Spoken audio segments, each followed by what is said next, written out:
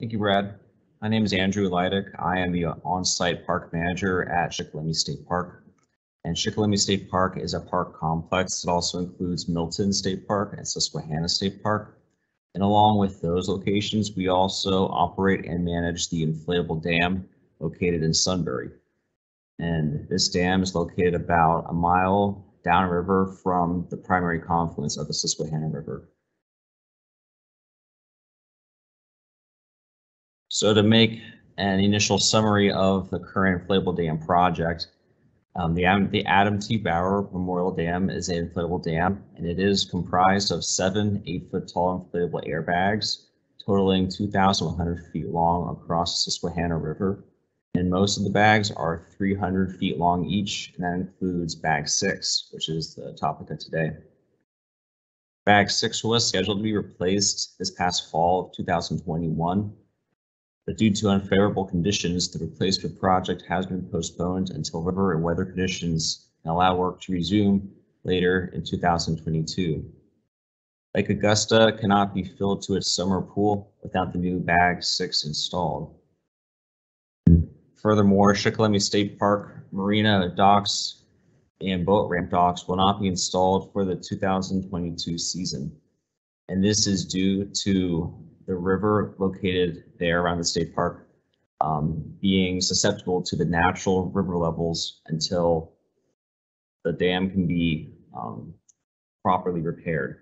So boating will still be an option in the Lake Augusta area. However, that stable lake depth that we have traditionally had will not be there until this project is complete. Depending on the project timeline, a partial boating season may occur with Lake Augusta full pool late in the season. And this is what we are hoping for, that we will be able to still provide a some sort of an official boating season once the project is fully complete later this summer. Bag 6 replacement. Existing bags suffered damage in 2019 from multiple high water events that required emergency repairs. Any locals in the area may remember that in 2019, that did involve a shortened season then.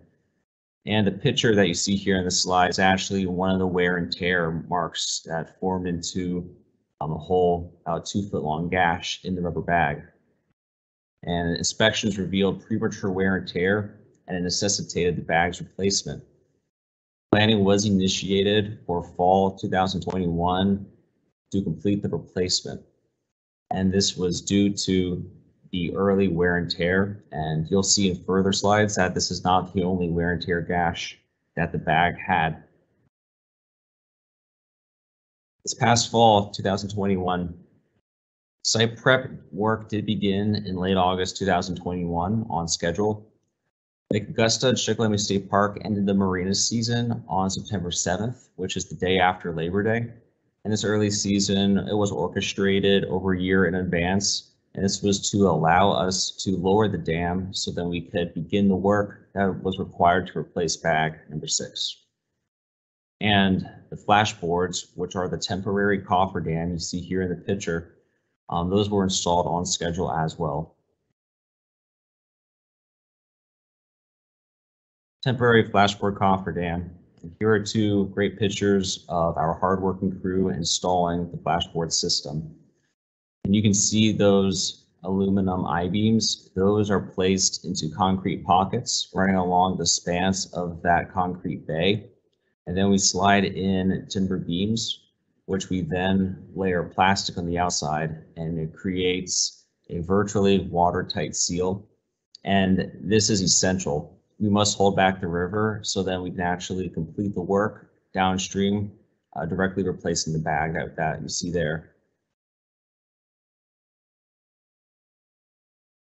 Temporary Causeway Road.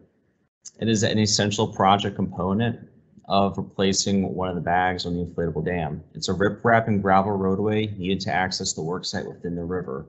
There's no way to get machinery such as the crane out to the worksite on any bay that there may be along the dam unless we have a gravel pad and access road to, to get there and the construction did begin on schedule mid-September. However, it was quickly delayed due to high river levels. And this is one of the first in a series of high water events that we faced. Working with equipment is only permitted with the river conditions at nine and a half feet or under.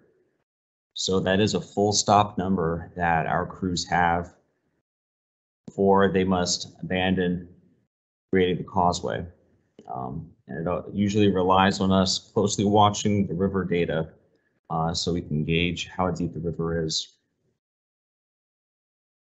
Preparing for high water, in this picture, you can see our crew um, laying out some materials to do an emergency reinforcement of flashboards.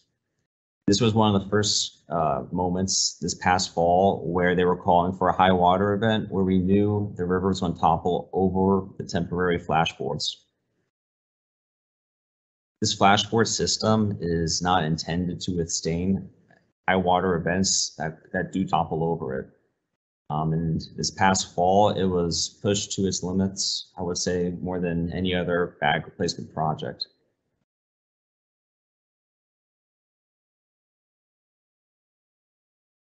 The old bag six was successfully removed. And here is what's in these two pictures. Um, I also have circled the wear and tear marks that occurred over the past few years for bag six. And even some of the challenges we had at the end of the boating season in August this past summer, it was due to these tears right here. Uh, air leaks horribly out of gashes this large. They are incredibly difficult to repair and virtually was not possible. And this is what necessitated the entire uh, bag removal and reinstallation process with the new bag.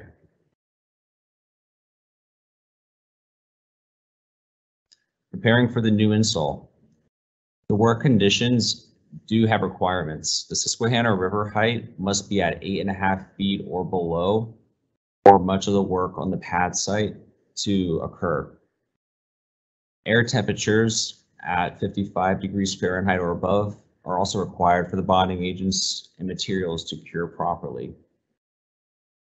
Also, low precipitation events are required to accommodate permitted working conditions and river height conditions. If there is a high precipitation fall or season, usually that follows along high water events. And we need a stretch of time of really no high water events to complete this work. And this is what we faced this past fall. Here's a graph that shows river height data just below the inflatable dam there in Sunbury.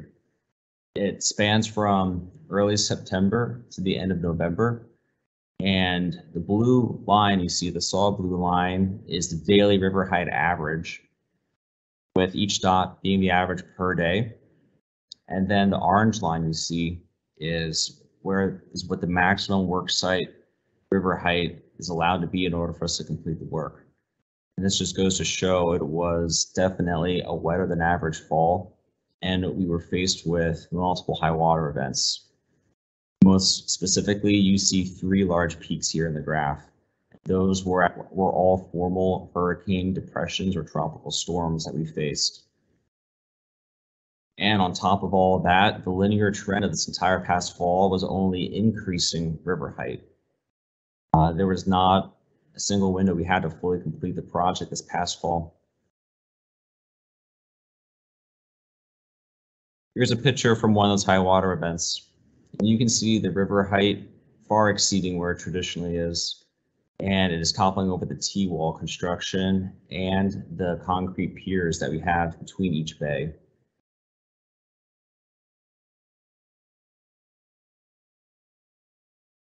Here's a zoomed in picture of Bay 6 with the coffer dam installed during one of those high water events. And you can see a piece of debris that is hung up over one of flashboard sections. And this just goes to show the type of wear and tear and damage that the coffer dam takes during high water events.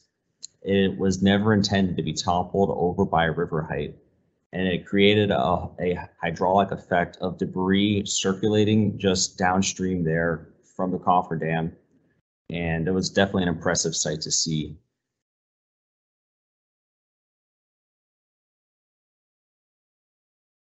Here's another picture from one of the high water events this past fall. And if there's any locals there in the Sunbury area, they'll recognize this as the Shamokin Dam Borough Park. And this here, right where the sign is, is traditionally a gravel parking lot, yet the water's receding over the shorelines.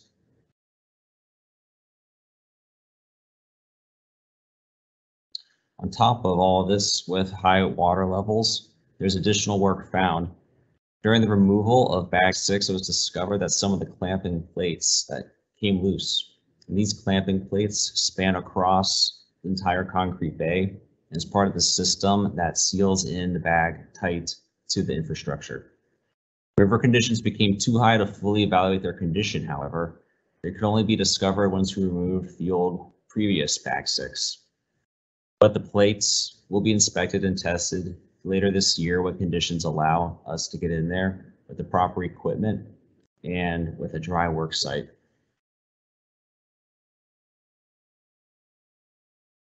Ending 2021.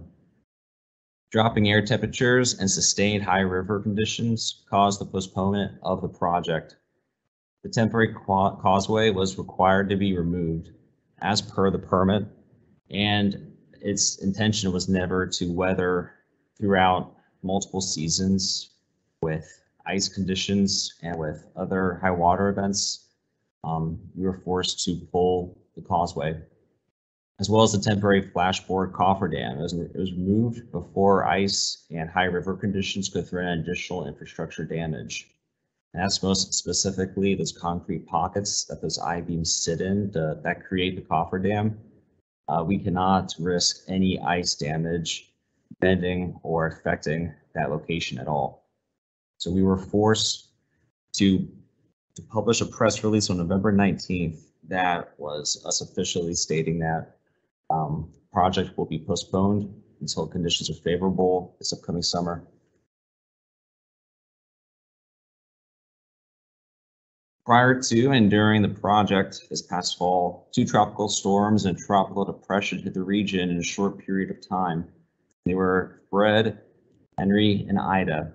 These three events set the stage for a wetter than average fall. And those were those three primary peaks that we saw in the graph earlier. Multiple attempts were made to keep the project going, but with high river levels, continued rainy weather, and dropping temperatures, DCNR was left with no alternative but to postpone the project. Continued work would have risked further damage to the dam infrastructure, and river conditions were becoming a safety issue for workers. DCNR understands that this is disappointing news to the park visitors, local communities, and the boaters who use Lake Augusta. And myself as the on-site park manager, our maintenance supervisor, our maintenance crew, and everyone else that's on staff. Um, this is the last thing we would ever want to happen. and we are truly committed to completing this as soon as we can this upcoming summer.